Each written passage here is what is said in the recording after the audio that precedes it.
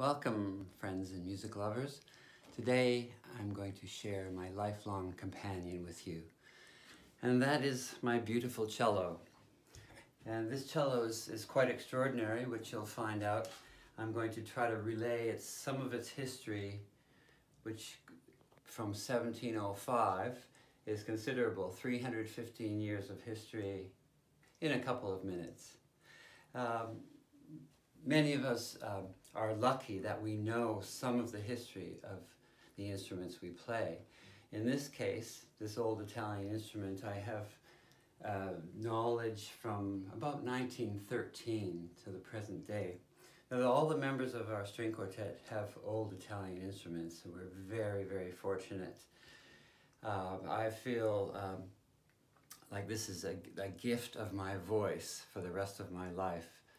This is my musical voice coming through this instrument.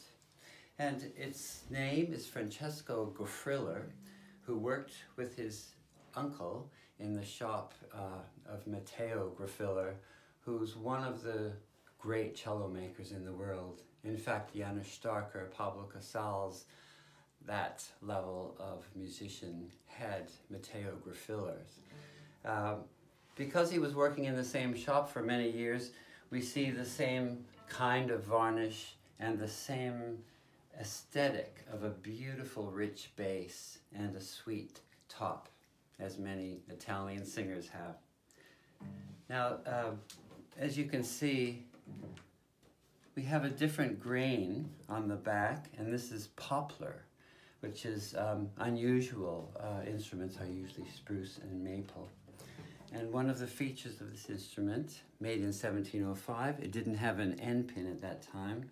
Church musicians would walk around Venice, where it was made, with this attached to the bell. This hole had a peg in it, and uh, it was could have been marching around with Vivaldi and his orchestra. This was the same time that Vivaldi, Corelli, all these great Italian master composers were writing, so who knows. But to tell you a little bit more of the history since 1913, we have here a diary of the man who owned my cello from 1913 to 1948. His name was Alexander Barjansky, and his wife, a famous sculptress, kept a record, a diary of all their activities uh, for about a decade from 1913. And so in this book um, tells the tales of, of many meetings with princes and intelligentsia in Europe, as well as great musicians such as Ysaÿe, which he was a great friend with. And he would have played this instrument uh, for weeks on end uh, chamber in chamber music with Ysaÿe.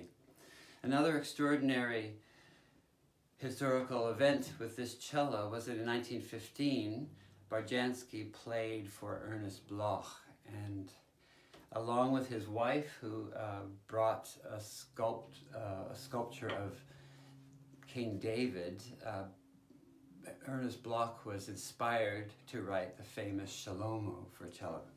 So that piece was directly inspired by this cello. And I thought it would be interesting to read a page from a book about Delius, uh, whose works uh, Barjansky uh, premiered, for instance, the cello concerto. Here's an account of an evening with Barjansky from this book. The greater part of the following day was spent in vigorous rehearsal, and I was much amused by Barjansky, who would practice like a demon for an hour or so and then suddenly stop and say, Fenby, I must now take my repose.